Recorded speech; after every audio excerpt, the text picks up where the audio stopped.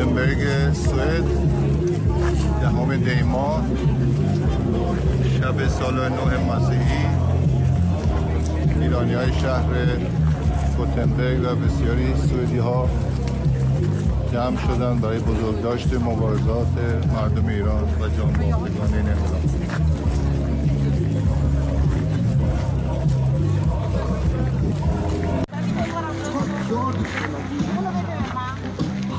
خودتون یک بلوا هست زن زندگی آزاد زن زندگی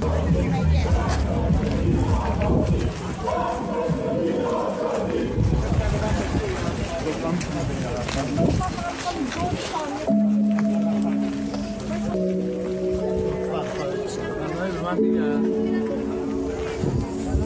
فیلم بگیرم